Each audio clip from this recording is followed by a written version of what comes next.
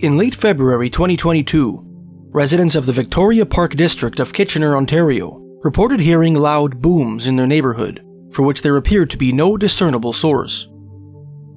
Witnesses likened the mysterious noises to gunshots, the backfires of an engine, and cannon blasts, claiming that some booms were so loud that they rattled the windows of their houses.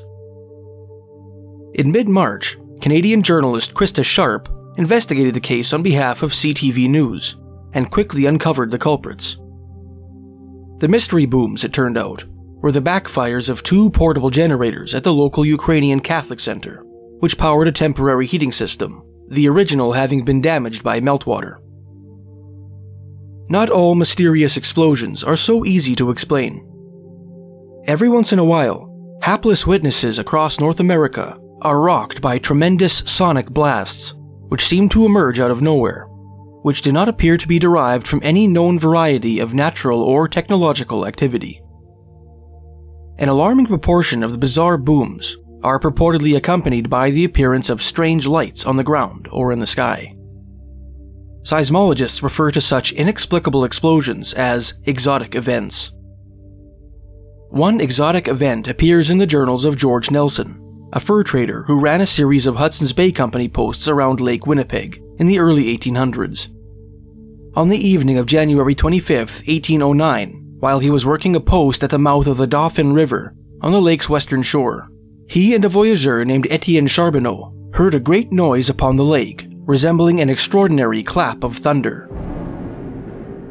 Later that night, he and his men noticed that the planet Venus and an adjacent star not only seemed to be twice as large and bright as usual, but also appeared to bounce to and from each other, as to excite an uncommon degree of curiosity in everyone who beheld it. This gives me reason, Nelson continued, to relate what an Indian from the north side of this lake said in regard to the moon. He got up in the course of the night when it was yet very high, but when he went out again after having smoked his pipe and made a fire, according to his accounts, not near half an hour from when he went out the first time, he found it sinking below the horizon. 140 years after George Nelson's strange experience, on the night of March 23, 1953, residents of Niagara Falls, Ontario, and the adjacent city of Niagara Falls, New York, were startled by two successive booms and a mysterious flash of light, which erupted over the Niagara River, near the border between Canada and the United States. One witness named Joseph Pluter claimed that the first boom was louder than the second, and that the accompanying flash of light was so bright that it illuminated his neighborhood in Niagara Falls, New York. Another witness, called Joseph Cloutier, grabbed a flashlight and ran towards the sound. When he came to the North Grand Island Bridge, which connects the American shore with the large river island for which it was named, Cloutier saw what he believed to be several pieces of wreckage floating down the Niagara River. One of the pieces was six feet long, and purportedly reflected the light like aluminum. As he watched, the floating debris sank below the surface. Many locals suspected that a plane had crashed into the Niagara River, and an official at the U.S. Air Force Base in Niagara Falls allegedly confirmed that witness descriptions of the event certainly seemed indicative of a plane crash. When airports across the continent were checked, however, no planes were unaccounted for. A local resident investigated the site of a suspected crash in his own boat, but found no evidence of any wreckage there or downriver. The U.S. Coast Guard subsequently launched a search and rescue operation out of its base in Buffalo, New York that same night. A two hour search failed to turn up one shred of evidence as to the nature of the mysterious explosion.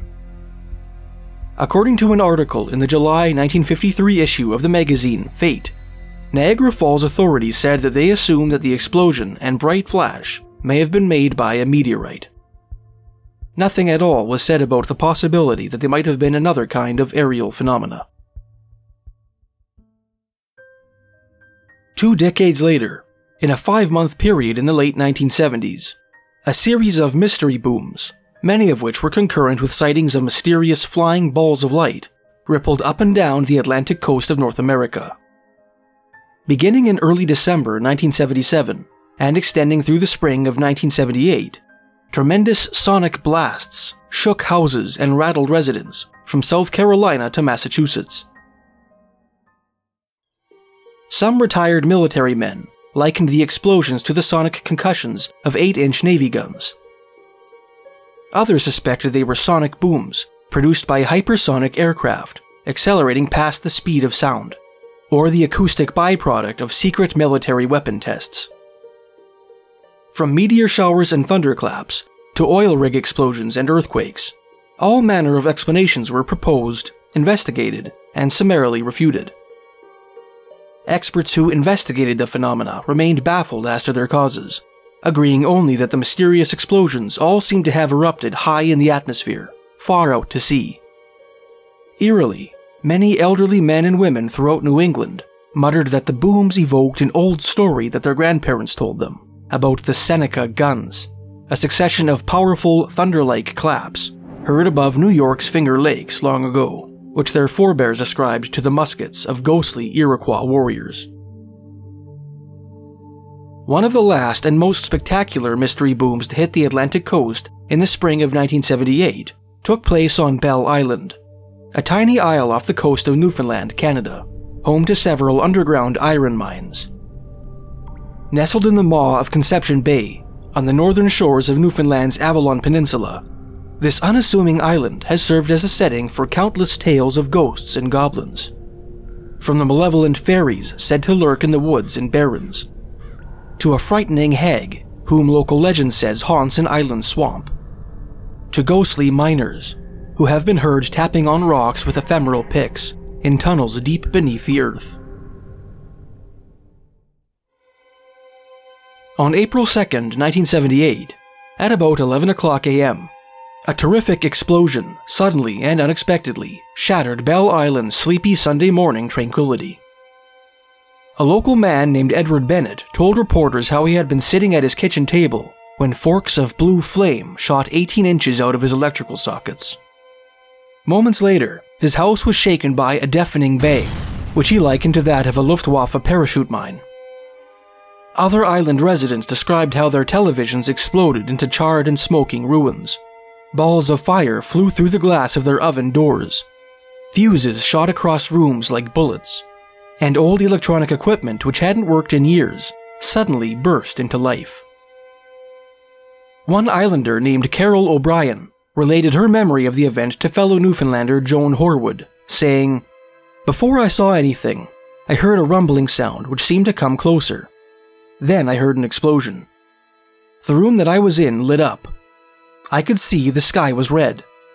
I ran out into the kitchen, looked out the window, and saw smoke, and I thought a house down the road a ways had exploded.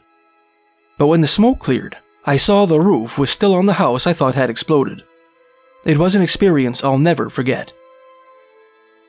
A local 12 year old boy named Darren Bickford, who had been riding his bike on the island at the time of the explosion, claimed to have witnessed an extraordinary sight just before the boom. I was outside riding my pedal bike, he said in an interview for Season 2, Episode 6 of the 2011 TV series Weird or What, and I knew one of my favorite television shows came on at 11, so I was pedaling back home. As I approached the end of our driveway, all the birds stopped chirping. All the dogs stopped barking. It just went so still. All of a sudden, Bickford heard a tremendous boom, which he likened to a shotgun blast which was instantly succeeded by a second boom. Immediately thereafter, the ground began to shake, producing what Bickford claimed was the loudest noise he has ever heard in his life. In the midst of the chaos, an unearthly globe of light appeared out of nowhere, hovering above the ground. Its body was a mesmerizing tangle of multi shaded ribbons of blue light, which twisted and mingled with each other. Yellow and orange sparks danced on its surface, producing an awesome and terrifying spectacle. And then, just like that, Bickford said, the ball of light just disappeared into thin air. This is, without a doubt, the strangest, most terrifying thing I've ever seen. I was terrified, but I was transfixed by it. It was so beautiful looking, this ball of light, and the colors, and the way it swirled around. You couldn't help but stare at it, even though I was scared.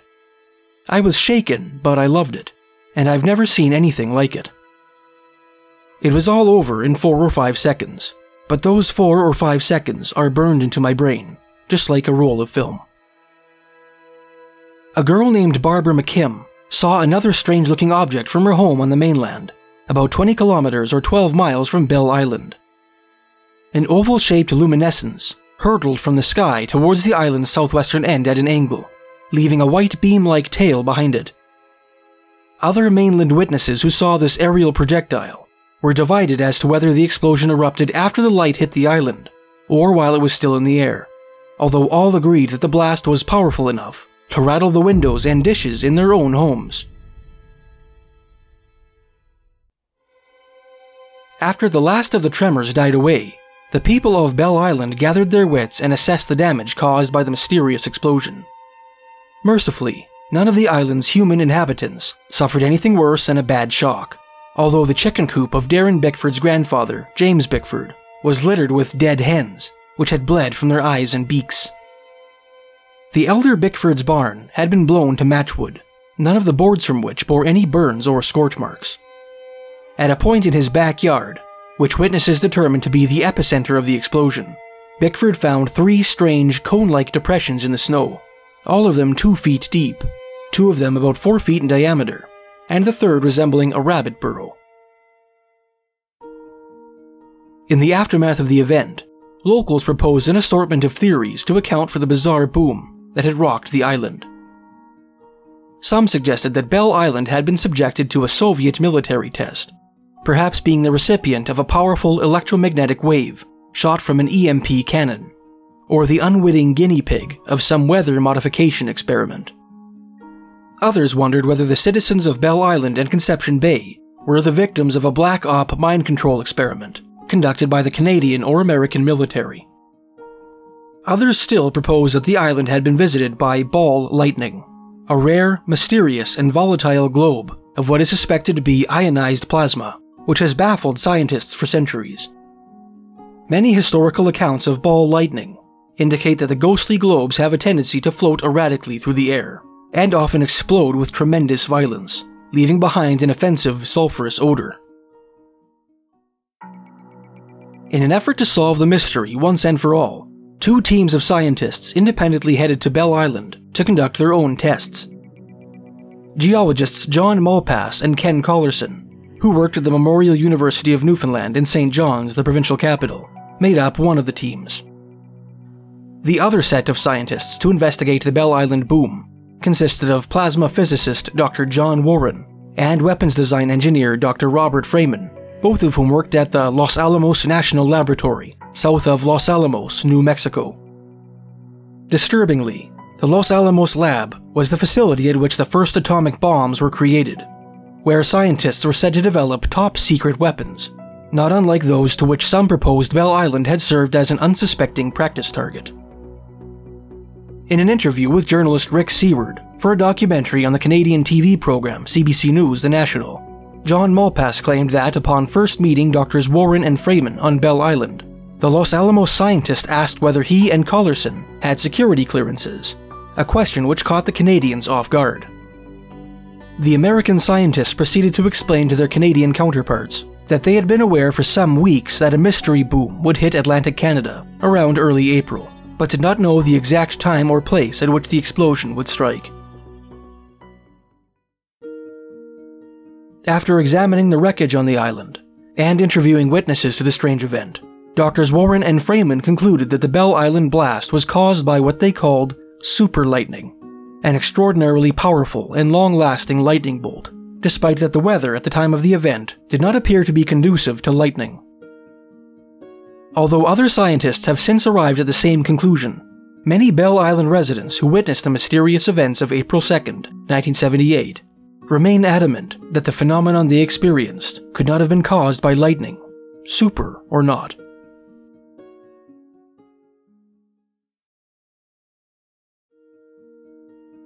At the end of my last video, I mentioned that I was helping my good friend Dan raise money for the production of his short film, Firstborn.